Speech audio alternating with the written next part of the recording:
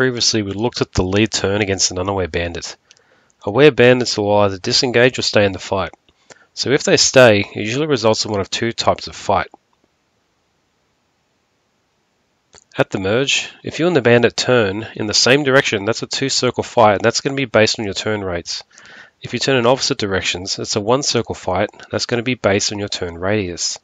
Knowing if you're two circle or one circle tells you how to approach the fight.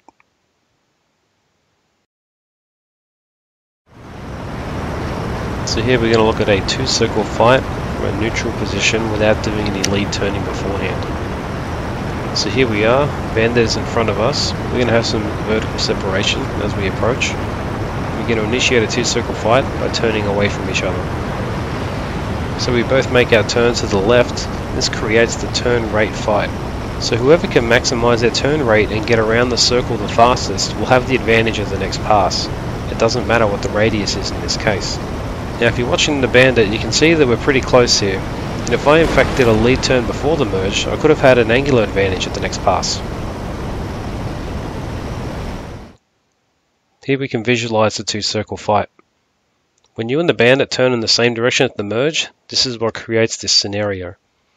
This means you'll need to maximize your turn rate by creating turning room in your plane of motion before the merge and then turn into the bandit across their tail at your best turn rate airspeed and hold it. To help gain the advantage faster, it can be useful to utilize a lead turn before the merge. Also, the two circle fight will create larger separation than one circle fights, so you've got to be careful not to lose sight as the bandit crosses behind you. And lastly, if you're sacrificing altitude, pull to the buffet to maintain your best turn rate. In this example, we're going to do a one circle fight. From here, acting as if we're going to be performing a regular lead turn, we're inducing the bandit to turn into us, creating a two circle, then we'll reverse. So the bandit is turning right and I'm turning left, creating that one circle radius fight. And since my turn radius is smaller than his, I can stay inside of his turn circle and maintain an offensive advantage. For the one circle horizontal fight, this will happen when you and the bandit turn opposite directions at the merge. Your goal is going to be to minimize turn radius in the fight which you'll do by minimizing turning room in your desired plane of motion before the merge. You'll also fly this at a slower airspeed and turn away from the bandit, usually at the buffet. The one circle fight will have less separation than two circle, but you still may lose sight as you turn away. By choosing a one circle fight, you're losing turning room in your maneuver's plane of motion after the merge. This means it's important to merge as close as you can in plane with the bandit, but still keep some out of plane turning room. In this, we're going to look at a one circle vertical fight, and we're going to be seeing how it can be useful to have a high energy state before the merge. Now the Bandit and I were at high air speeds before the merge. As we pass, we both go up into the vertical. I can utilize my tighter turn radius to get around first and point my nose at the Bandit, but doing so is likely to sacrifice some energy, and I'm going to be at a lower energy state than the Bandit. So my attempt to recover some energy the bandit can now come down from his higher altitude and energy state and push me onto the defensive. So as we saw in the one circle vertical fight, this occurs when you and the bandit both pull straight up at the merge.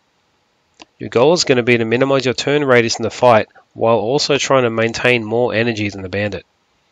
Your plan to do this is to minimize your vertical turning room before the merge and then go vertical. If you end up being the higher fighter, you're going to be the one with the better energy state but a higher radius, so this opens you up to an attack. But you also get a gravity assist as you come down on the lower fighter while it's trying to recover energy. If you're the lower fighter, you're likely going to have a worse energy state but a tighter radius.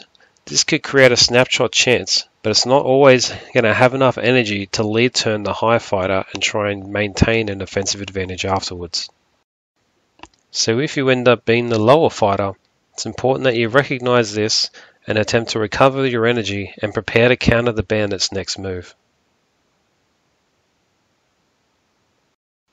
That completes the video on 1 and 2 circle fights.